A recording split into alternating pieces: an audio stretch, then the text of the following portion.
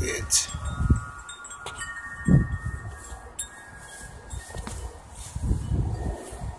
All in there. Wipe that down. Wet. All around. Dang